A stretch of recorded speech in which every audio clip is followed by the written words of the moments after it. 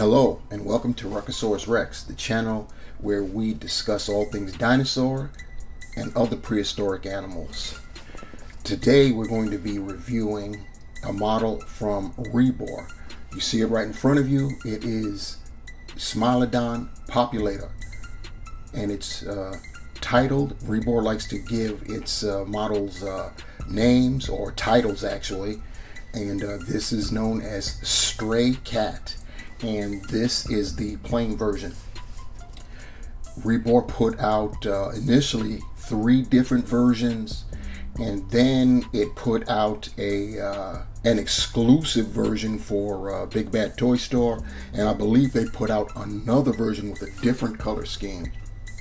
This is considered plain. Now, I'm unsure as to what they mean by that. I don't think they actually mean it's just a plain color scheme. I think maybe they're referring to that this color is supposed to signify that the uh, cat hunted in plains. Looking brown and stuff, that makes sense. It would blend in in plains and stuff. Its scale is uh, 111. Uh, it reads 111 uh, plus 1. So uh, I don't know exactly what that means, but uh, it's at a 111 scale. So, uh, yeah, it is that. Now, as far as uh, populator is concerned, there are three different species of Smilodon. Uh, you've got Gracilis, Fatalis, and Populator. Gracilis was the smallest, and uh, Populator uh, is the largest. This sucker was big. It, it could get up to about uh, 960, 980, hell, just rounded off, say about a thousand pounds. So it was a big boy, whereas Gracilis, the smallest, uh, could get up to about 220. So they were pretty small. I know I've seen uh, skeletons of uh, Gracilis before uh, in the Natural History Museum in um, the American Museum of Natural History in New York. I've seen uh, skeleton of Smilodon, and going by the size, it was a Gracilis. I I've yet to see a populator. I know I want to uh, see one of those because I know it'll be impressive. Uh, Smilodon, also referred to as, uh, they're known as uh, saber-toothed cats. That's, uh, you know, the whole uh, family of them. They're saber-toothed cats. They were referred to as saber-toothed tigers, even though they're not even closely related to tigers at all. They were from a uh, subgenre called um, subgenus called uh, Machairodonts, and um, they were uh, built, um, especially Populator, built a whole lot more husky than any cat we know today, including lions and tigers. So uh, yeah, they were, like I said, they were some big boys. They, uh, they especially were, uh, their forelimbs were especially developed. They were, uh, uh, their forelimbs were larger than their hind limbs. And they were they were built for strength, not speed. So they were definitely ambush predators. They were not chasing anything. You know, it was thought that they would uh, ambush their prey, their strength, especially in their forelimbs, would hold it down, and they would begin biting. Now, the, the, the controversy with saber-toothed cats is uh, exactly how did they bite? You know, if you, uh, especially when you think about populator, populator uh, hunted big game, big prey. So as strong as it was, even when it's holding it down and it starts to bite, you know whatever it is that it was holding down had to be thrashing. You know, it's obvious that saber-toothed cats did not uh, kill their prey the way uh, the typical big cat that we know of today does it, i.e., get them down, bring them down, and then choke them to death by uh, biting on their uh, throats, their windpipes. That you know, that's how they normally kill. They don't do all the slashing and cutting and all that, but it's obvious that saber-toothed cats couldn't kill their prey that way. They had to they had to kill them a piece at a time by cutting them. The issue though is uh, think about it. If a saber-toothed cat bit into something and it's thrashing, it's moving its head along, so that's really deadly to the cat. I'm sure it's got uh, you know, it had strong neck muscles to try to uh, uh, mitigate that to some degree. But then what about the teeth themselves? You know, I'm sure that they had to have lost uh, um, some saber teeth from all the thrashing, and uh, their other teeth were uh, were kind of uh, fragile. On top of that, so you know, it's real mystery on how they actually killed their prey. it's really unclear uh, if they genuinely just like stabbed them. But you know, nature always has a purpose, so those teeth had to have been used for something. Um, it just, uh, you know, it still remains unknown to uh, scientists today. Smilodon lived um, about two and a half million years ago, all the way up to 10,000 years ago. So uh, that's crazy. They lived in the Americas, both North and South America. So yeah, that's just crazy. So uh, that's uh, yeah, that's a little bit on the uh, on on Smilodon right there. So time to get into the model itself. You see the packaging right there, and once again, um, this is uh, the plain version. You look to the back. There's nothing else on um, the rest of the box. My box wants to open up there. On the rest of the box, and there it is right there. You see the um, versions that uh, came out. You've got Stray Cat, the plain one, which we're going to review. You've got the Ice Age, which is also, I mean, that's the Ice Age version is just crazy banging. The BBTS exclusive, which you see in the lower right, you see what color that was. I wasn't impressed with that color. It looked too uh, unnatural and too unrealistic. And then that new one I told you about, uh, which they did not have at the time, but they knew they were coming out with it. it, is Jungle. Jungle has been released, and it uh, it looks pretty good. Can't front on that. It looks pretty good. So, uh, turning back to the front, looking at uh, Stray Cat before we take them out of the packaging, which we're going to do momentarily. So here we have our Stray Cat out of packaging and uh, looking very, very impressive. Uh, he's too big. The reason I didn't lead off with uh, him on the uh, rotating platter, he's just too big for my rotating platter. I'm going to have to uh, invest in a larger one to accommodate larger models. And uh, yeah, I'll uh, think about that in the future, just so we can get the the 360 degree view. But for now, we're just going to have to look at look at our cat the old-fashioned way and uh, looking at him, like I said, highly impressive. Try to get a profile view of him. You can see all of this saber-toothed cat in its glory, Smilodon. Uh, I mean, just looking at him, big, chunky, big, chunky beast. Like I said, these cats were built for strength and power, not speed at all. You see nothing fast on this critter whatsoever. Um, another um, little known fact about uh, Machairodonts is that uh, unlike modern cats, both the house cat all the way up to the tiger, saber-toothed cats could not retract their claws. Their claws stayed out all the time. Um, it's not really being ref- oh actually it is i'm looking now i was about to say it's not being reflected in the in the uh, hind claws but it is they're showing it that the claws are out um, yeah they could not retract their claws unlike modern cats. Uh, as you can see, uh, our Smilodon is uh, sporting the um, closed mouth look, but uh, never fret because Rebor included another head with the open mouth. So you see how cool that looks, right? And we're going to look in that mouth close up uh, once we uh, get through looking at uh, the cat himself. So, as you can see, uh, this is called the plain. I think it means for plains, as in wild plains, going just by the uh, brown palette, the coat, and it's got some striping. A lot of illustrations of uh, Smilodon has them with stripes. some more pronounced than this. This right here is believe it or not, this is subtle compared to a lot of other uh, illustrations and pictures of Smilodon.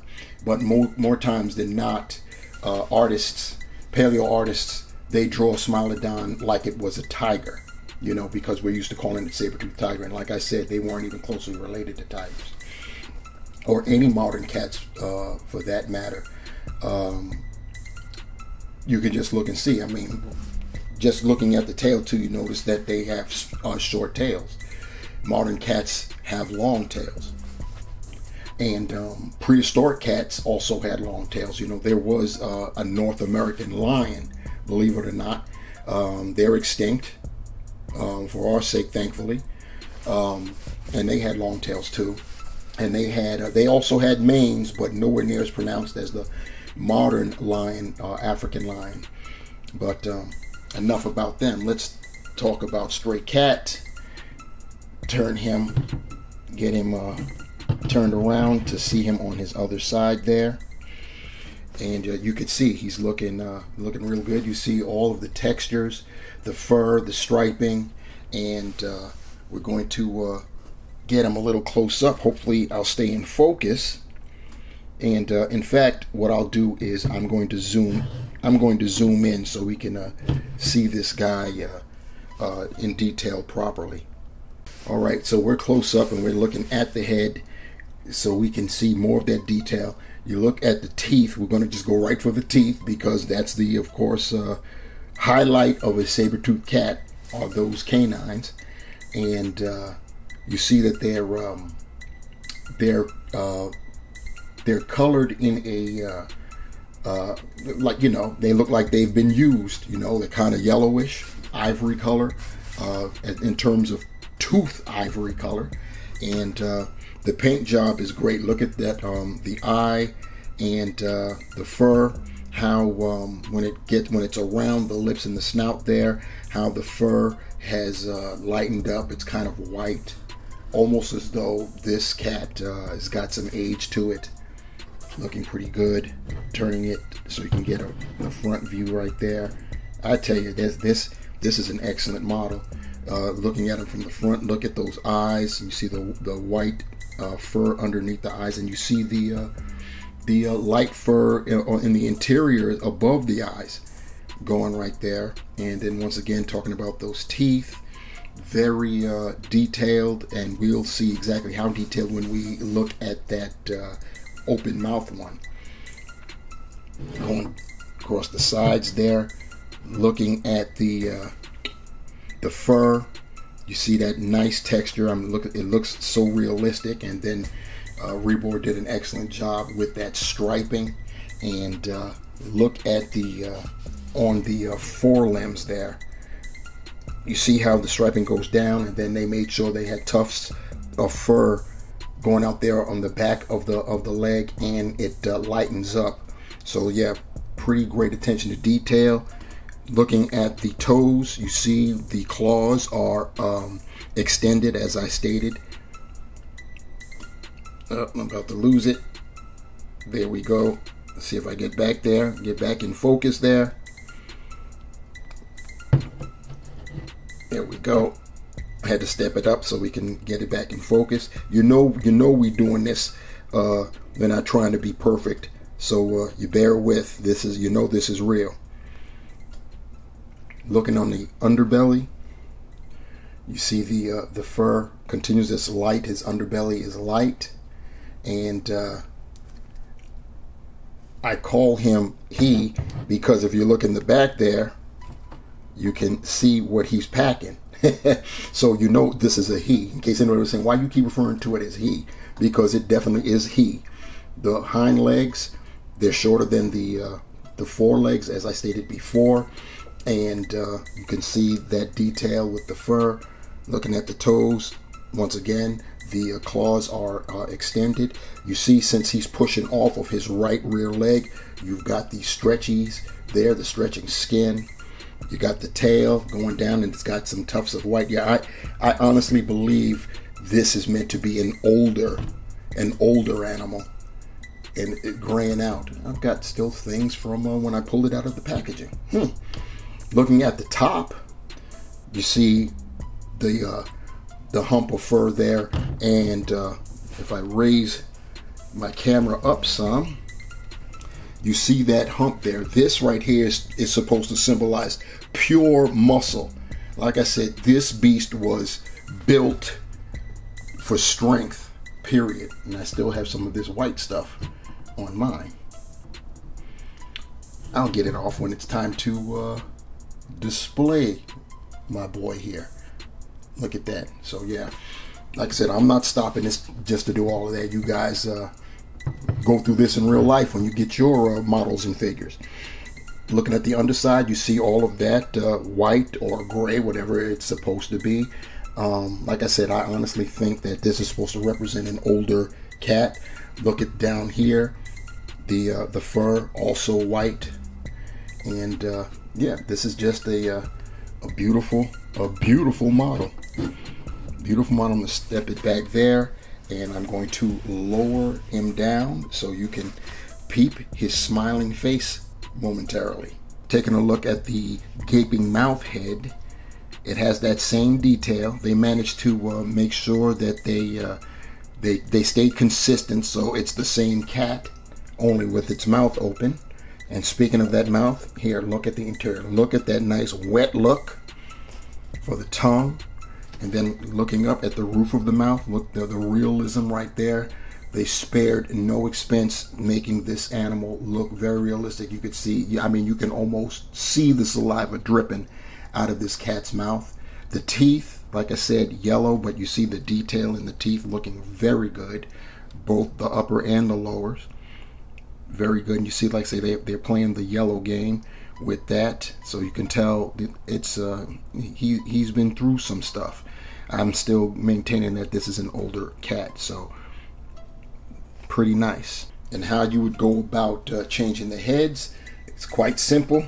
Just grab your beast, pull, and now he's headless. Oh, but no. Then you just uh, insert the other head, push hard as you know as much as you can in an attempt to hide the seam lines as best you can.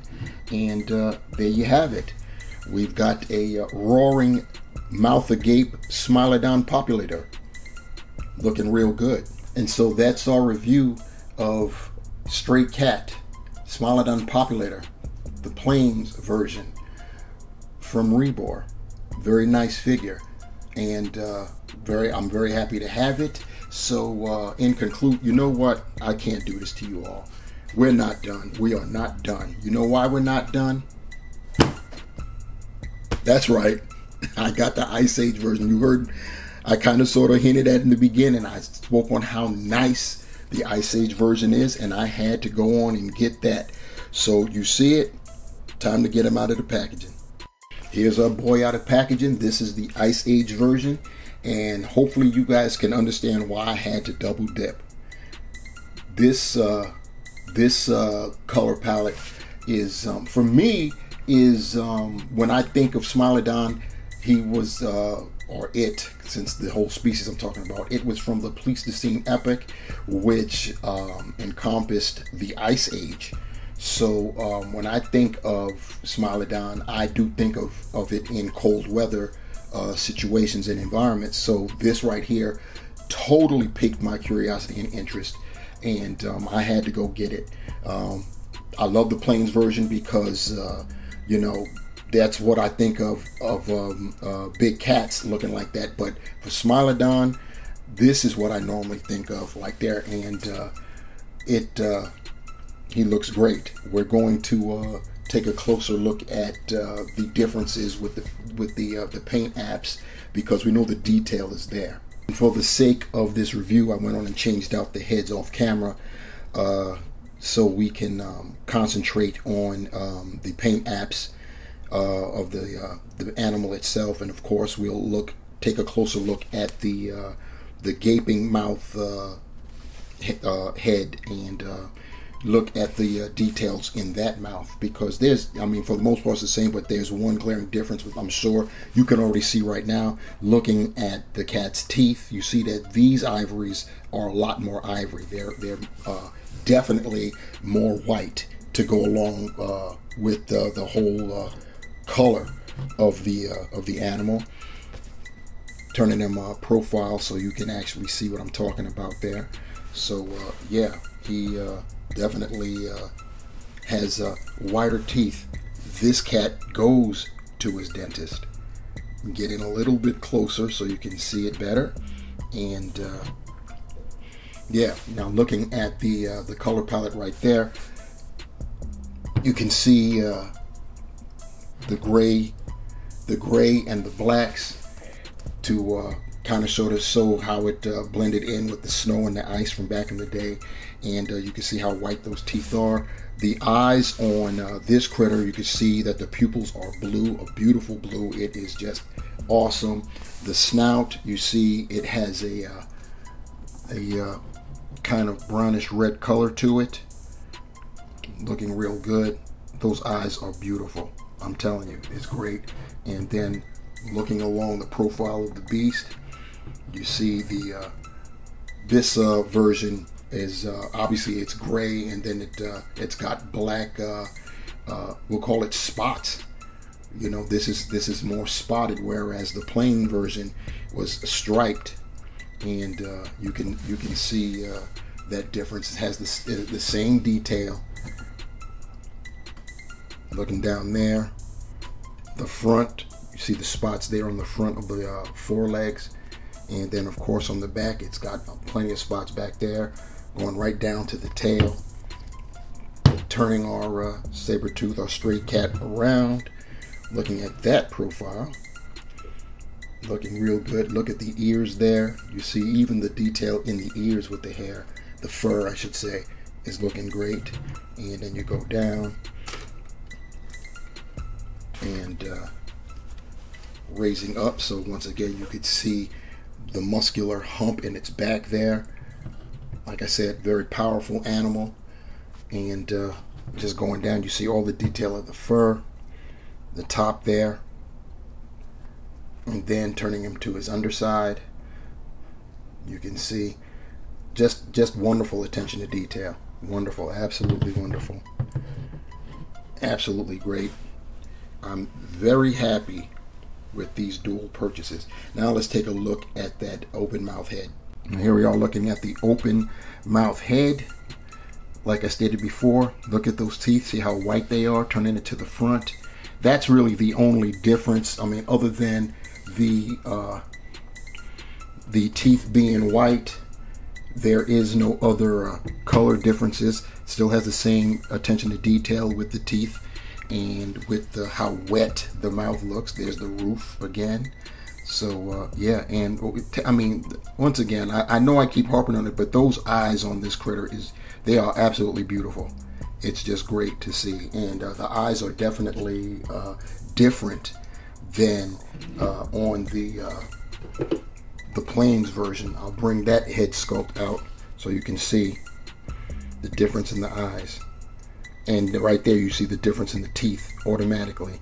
So uh, yes, you can't go wrong with uh, either version, and you definitely can't go wrong if you if you double dip taking a measurement of our stray cat from uh, tail to snout. It measures 10 inches and uh, going from, uh, I'm going to do it up here at the front part, to the uh, top of the shoulder, it's about uh, four and a quarter inches. And to the hump, it's just a little over five inches. That means that uh, just going from the uh, the 10 inch uh, measurement at the 111 scale, uh, this thing was uh, over nine feet long, and to the shoulder it was about four and a half feet tall, or to the top it was about four feet tall. About four and a half feet tall to the hump. So this was definitely a big boy. Once again, this is Smilodon populator, and uh, this was the largest of these saber-toothed cats. So in closing, I gotta say, I'm very happy with uh, these models, both versions of it. Uh, they do have four versions now, including the uh, BBTS exclusive, which I was not crazy about at all.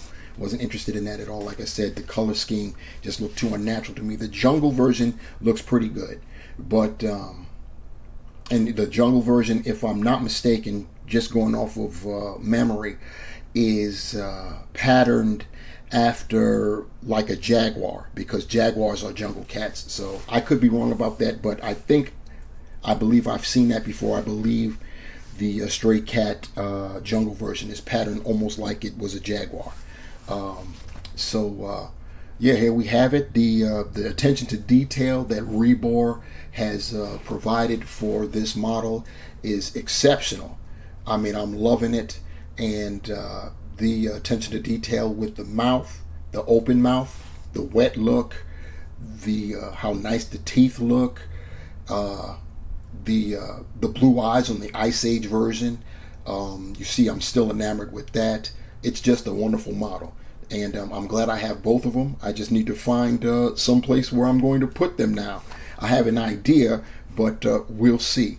Anyway, thank you guys for uh, sticking with me for this review. Please like, share, and subscribe, and uh, definitely subscribe. I'm trying to get to 200 subscribers. I am a long way off. Maybe I need to cut it down in half. Let's go for 100 by the end of July. And uh, I need you guys to help me with that. Please comment below uh, questions, comments, concerns. Uh, if you um, know what color the uh, the jungle version is, what what uh, what what color that is, please put that down there. I'm going to find out after I uh, get off of uh, this review anyway. But um, just for everyone else, if you know, put it down in the comments. And if you want to be notified for the next time I upload a video, uh, hit that bell, and uh, such will happen for you. So once again, this is the Smilodon Populator, aka Stray Cat, 111 scale by Rebor. Ice Age version, and of course the plain version. Wonderful models. Thank you for uh, sticking with me and uh, take care.